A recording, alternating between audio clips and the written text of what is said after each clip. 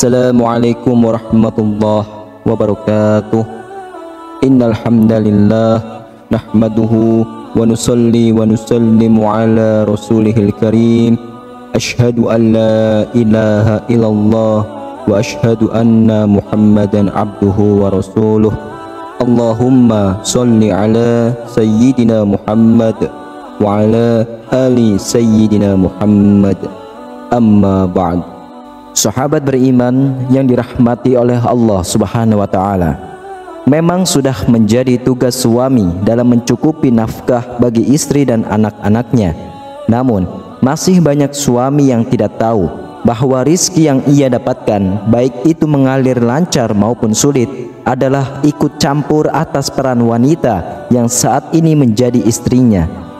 Memang tidak bisa dilihat secara kasat mata namun bisa dijelaskan secara spiritual bahwa ada beberapa sifat istri yang bisa membantu suaminya mendapatkan rezeki dengan begitu deras. Dan berikut ini adalah tujuh sifat istri yang bisa membantu mendatangkan rezeki bagi suaminya. Sahabatku beriman, silahkan simak penjelasan video ini hingga akhir agar para sahabat bisa memahami dan dapat mencerna apa isi yang terkandung dalam video ini serta tak lupa tulis juga hajat dan doa para sahabat semua pada kolom komentar agar bisa kita aminkan bersama-sama.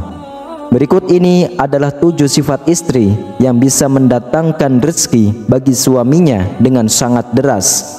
Yang pertama adalah istri yang pandai bersyukur. Istri yang pandai bersyukur atas segala karunia Allah pada hakikatnya, dia sedang mengundang tambahan nikmat untuk suaminya termasuk rezeki punya suami bersyukur, menjadi ibu bersyukur, anak-anak bisa mengaji bersyukur, suami memberikan nafkah bersyukur, suami memberikan hadiah bersyukur, suami mencintai setulus hati bersyukur, suami memberikan kenikmatan sebagai suami istri juga bersyukur. Dalam Al-Quran, Allah subhanahu wa ta'ala berfirman, Dan ingatlah ketika Tuhanmu memaklumkan jika kalian bersyukur, pasti kami akan menambah nikmat kepadamu.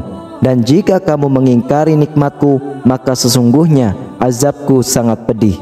Quran Surah Ibrahim ayat 7 Lalu yang kedua adalah istri yang selalu mendoakan suaminya. Jika seseorang ingin mendapatkan sesuatu, ia perlu mengetahui siapakah yang memilikinya.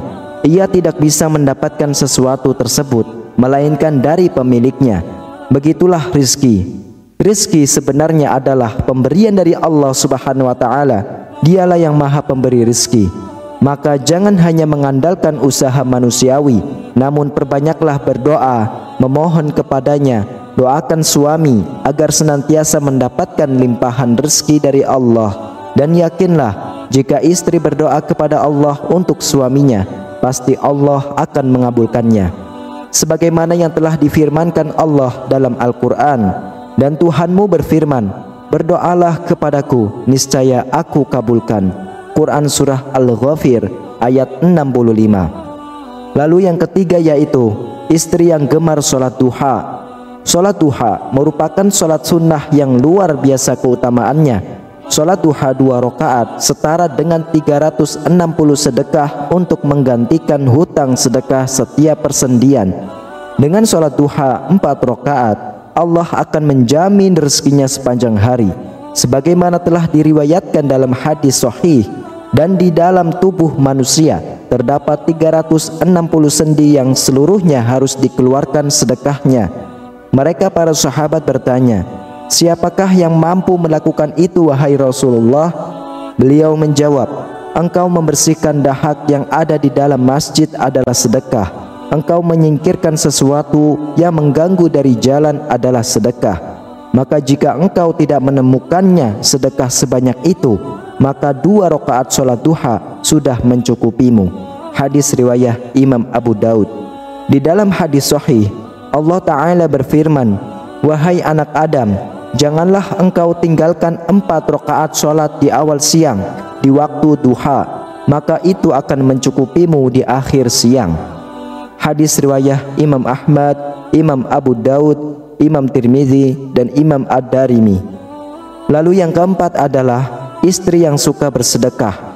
Istri yang suka bersedekah, ia juga pada hakikatnya sedang melipat gandakan rizki suaminya. Sebab salah satu keutamaan sedekah yaitu akan ditambah rizkinya oleh Allah Subhanahu wa taala. Sebagaimana disebutkan dalam surah Al-Baqarah bahwa akan dilipat gandakan rizkinya oleh Allah hingga 700 kali lipat bahkan hingga kelipatan lain sesuai kehendak Allah. Jika istri diberi nafkah oleh suaminya, lalu sebagiannya ia gunakan untuk sedekah, mungkin tidak langsung dibalas melaluinya, namun bisa jadi dibalas melalui suaminya. Jadilah pekerjaan suaminya lancar, rezekinya berlimpah. Di dalam surah Al-Baqarah ayat 261, Allah mengatakan bahwa Perumpamaan orang-orang yang menafkahkan hartanya di jalan Allah serupa dengan sebutir benih yang menumbuhkan tujuh bulir. Pada tiap-tiap bulir ada seratus biji. Allah melipat gandakan ganjaran bagi siapa saja yang dia kehendaki. Dan Allah maha luas lagi maha mengetahui. Quran Surah Al-Baqarah ayat 261 Lalu yang kelima adalah istri yang bertawakal kepada Allah di saat seseorang bertawakal kepada Allah, maka Allah akan cukupi rezekinya. Allah Subhanahu wa taala berfirman, "Dan barang siapa yang bertawakal kepada Allah, niscaya Allah akan mencukupkan keperluannya." Quran surah At-Talaq ayat 3.